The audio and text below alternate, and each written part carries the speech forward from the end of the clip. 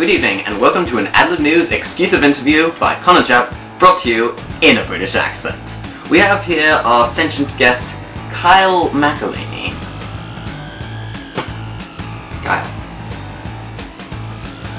Kyle. You say that the round sticker goes in the round place or the square? We're on TV!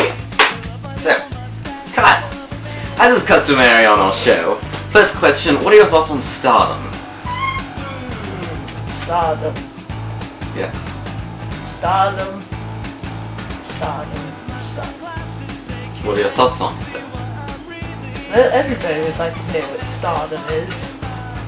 Stardom is like a fleeting sparrow. A sparrow. Yes, a sparrow. Why a sparrow? Why not a lark? Sparrows are cool.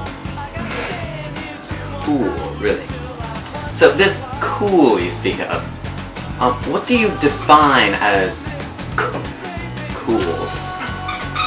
You know, whole beret, glasses, leather jacket, and coffee. Um, that's a broken bird beak. Right. So, Oh. no, no vomiting on screen, please. Um, so, I'm under the impression that the common opinion is that you are not a terrible person. Is this true? No. It isn't true. So you, wait, let me get- you are a terrible person. Yes, I am a terrible person. Okay? So, have you ever bought a leather jacket for more than $800? No, because I'm so terrible, I just smack the person that says it's eight hundred dollars and they give it to me for five. How much did you get that for? Five. That's very logical. What is your favorite, wait, what is your favorite brand of spackle? The people Well, hmm. I'd have to say lavender with a hint of lemon. As far as I knew, they didn't have lavender spackle, but I'll let that pass. But um, next question. Well, it's, a- it's actually quite common in France. Nope. Moving on. Next question. Okay. What is your favorite way of making a peanut butter and honey sandwich? And tell me why is the best way. So tell me that. Well, the best way make a peanut butter and honey sandwich is to just take the bread, throw it on the ground, then take the peanut butter and just smash it, and then lightly pour slightly drizzle of honey. It's the best way because the glass, the glass from the peanut butter gives it an extra crunchy taste. That's terrible!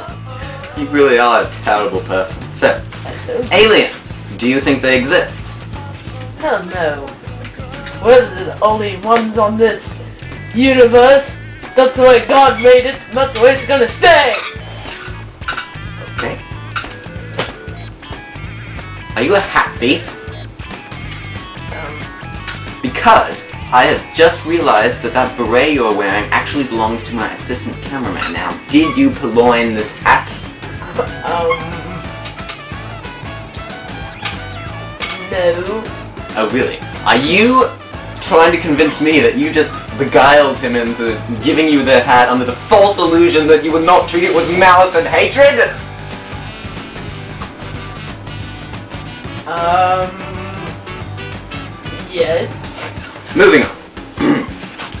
on a scale of 1 to 10, how awesome do you think you are? Oh, I'd have to say about 12, no 20!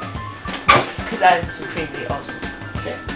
10 being lowest and 1 being highest. Well, this has been an Adlib Oh. News exclusive interview Wait by second. Connor Chap, brought to you in a British eight. accent. We'll see you Negative soon. 8! What? Negative 8. It's too late. I already said the closing thing. It's like fading out even as we speak. The thing is already rolling. I mean, I'm terribly sorry, but it's over, man. It's just over. I blame this creaky chair.